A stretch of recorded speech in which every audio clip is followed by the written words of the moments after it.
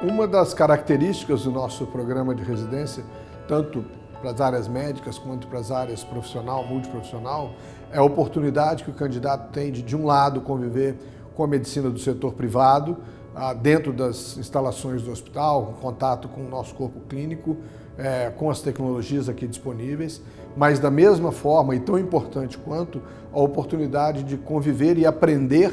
é, dentro do serviço público, ah, que é talvez o grande desafio é, no que diz respeito à qualidade e segurança que tanto nos é, importa. Hoje, o projeto Residências dentro do Hospital Sírio-Libanês, que muito importante se dizer, é mantido com verbas do Programa de Apoio ao Desenvolvimento Institucional do SUS, PROAD, parte da nossa atividade filantrópica,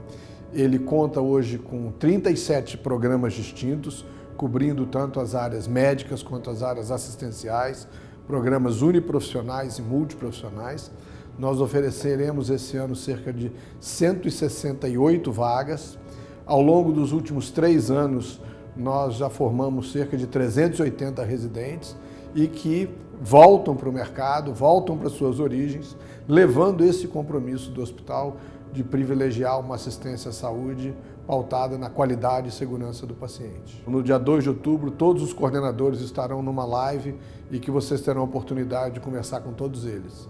Muito obrigado.